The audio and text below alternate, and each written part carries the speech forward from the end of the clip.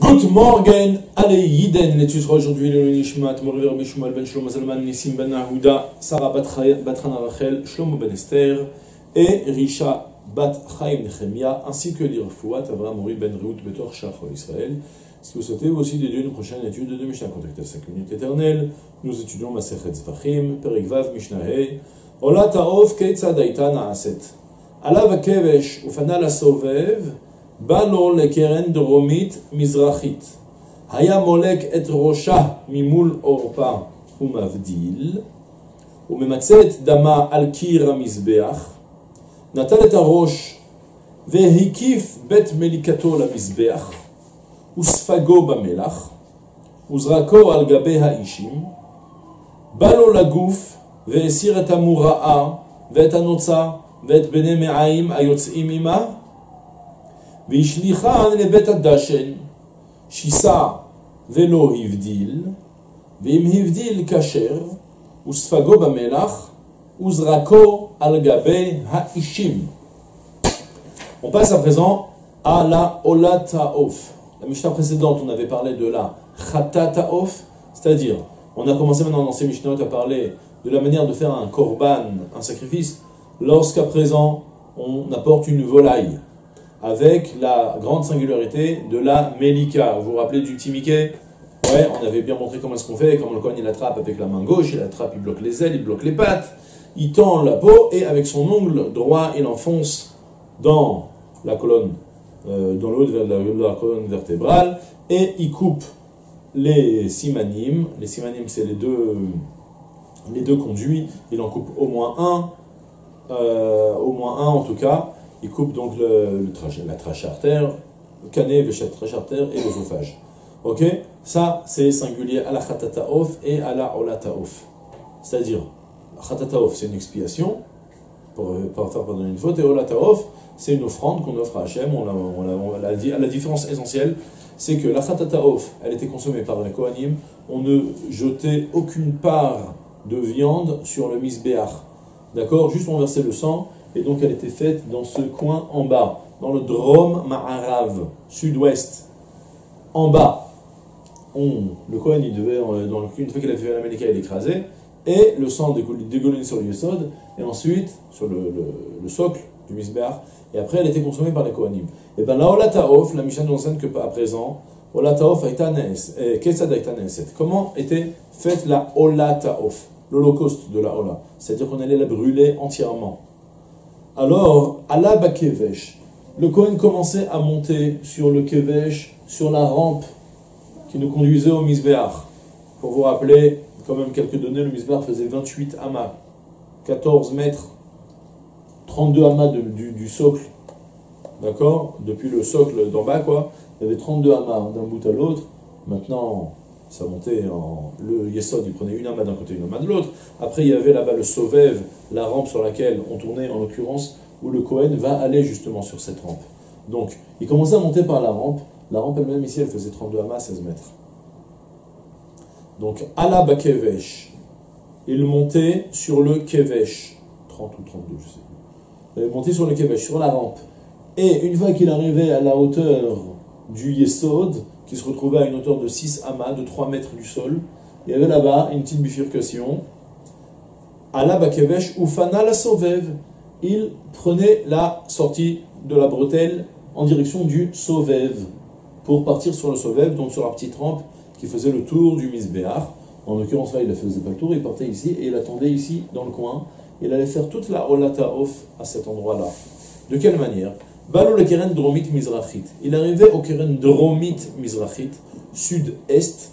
Pour rappel, ça c'est l'ouest, et donc là c'est l'est, nord, sud. Donc il arrive dans ce coin qui s'appelle le Drom Mizrach, le premier coin qu'il rencontre lorsqu'il a fait la bifurcation. Haya molek et rocha mimul orpa ou mavdil. Il faisait la melika, il l'abattait. Donc il, il faisait la melika de la tête, il lui trancher la tête avec donc l'ongle, ce qui s'appelle la mimoul orpa, face au oref, on avait dit à la nuque, donc mavdil, cette fois-ci mavdil, et il euh, déconnecte la tête du corps. c'est-à-dire avec son ongle, et son ongle, il va lui couper les deux simanim. À la différence de la khatataouf où ça suffisait de couper soit la trachée artère, soit l'œsophage, et il coupait le reste de la, de la chair ensuite, mais sans déconnecter la tête. Là, pour la hola, il va falloir déconnecter la tête complètement, donc lui couper les deux simanim, les deux conduits, euh, respiration et digestion, donc l'œsophage et, et la trachée artère. Et donc, ce qu'on appelle Mavdil, il sépare la tête complètement.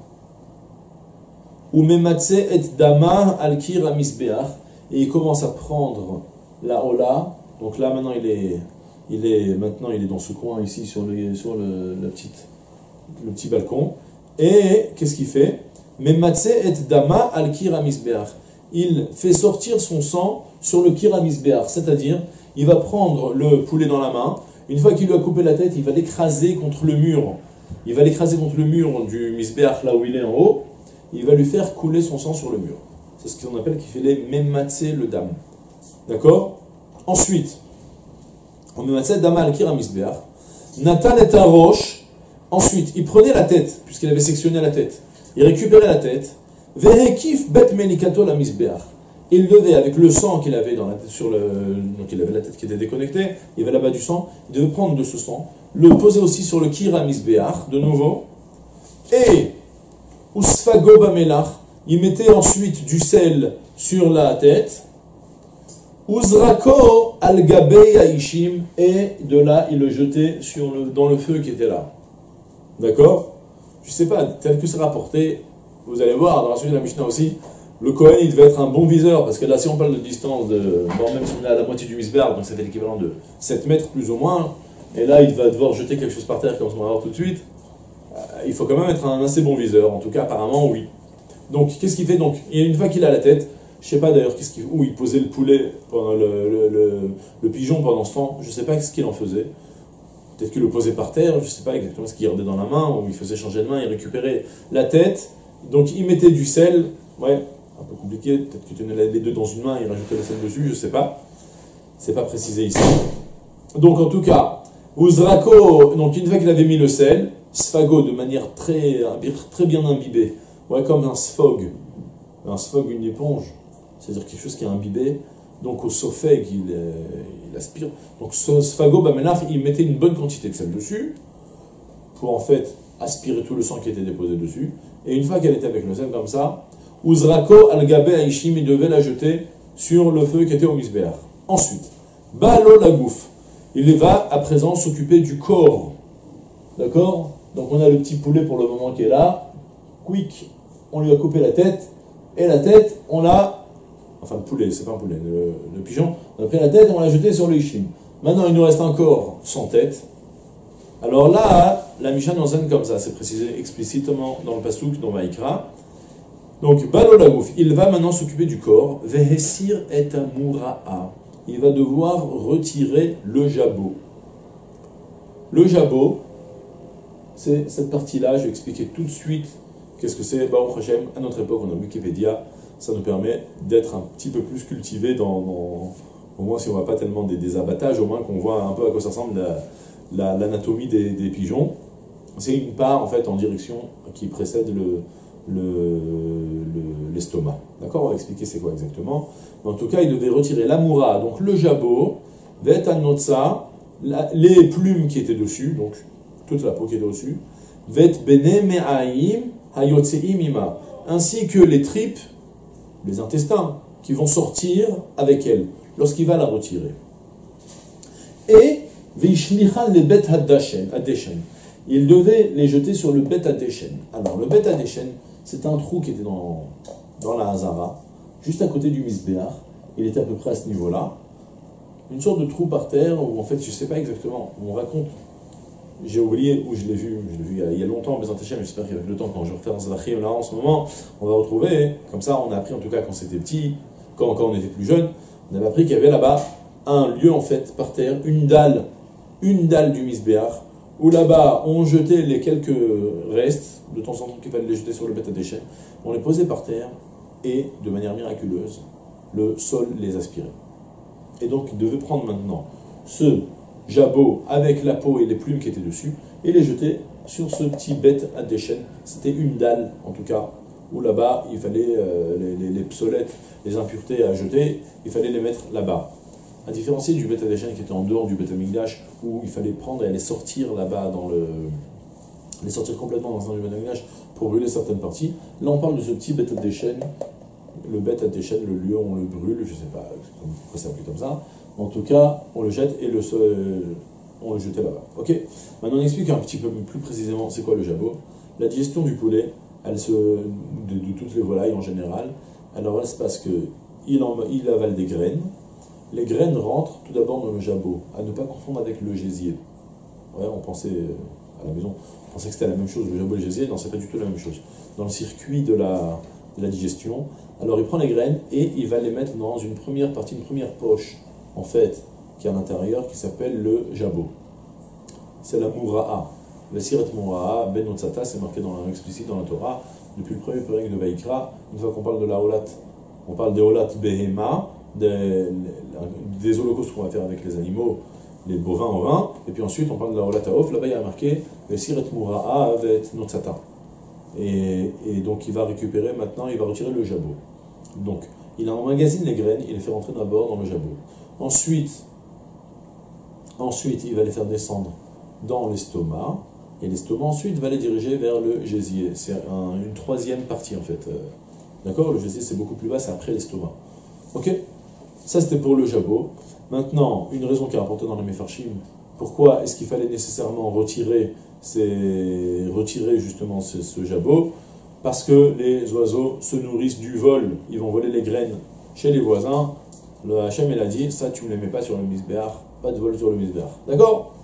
En tout cas, je reviens maintenant sur la Mishnah. Une fois qu'il a balo la donc il va maintenant, une fois qu'il a fini de s'occuper de la tête, qu'il a jetée sur le feu du misbéar, alors sur le bûcher du misbéar, il devait ensuite retirer la moura'a, donc le jabot. Vet hanotza, ainsi que la notza avec ses plumes qui étaient dessus. Vet mima, et avec aussi la partie de l'estomac qui va se faire retirer avec elle. J'imagine que quand il va la tirer, il va y avoir une bonne part des bnei qui va venir jusqu'à qu'à fin ça va craquer. Tout ça, il le prend il les jette au bet hadeshen. Ok? Ensuite, Shisa velo ivdil. Maintenant, il avait le corps du poulet avec ce trou ici. Il avait le poulet. Il devait maintenant être chaussé le casser en deux. Mais sans le déchirer, mais sans être mavdil, sans le séparer en deux parties distinctes. D'accord? Shisa, chaussé c'est qu'il le, il le coupe en deux mais sans être mavdil, sans le sectionner complètement. Et le coupe en le laissant rattacher. Vim hivdil kacher. Si toutefois, quand il a tiré dessus, ça a craqué, eh ben ça reste quand même kacher, il n'y a pas de problème, c'était pas, c'était pas possible, il aura manqué à faire la, la, la, mitzvah complètement comme il fallait, c'est pas grave. Usfago bamelach. Il prend maintenant le sel, il l'imbibe de sel de partout. Uzrako al aishim.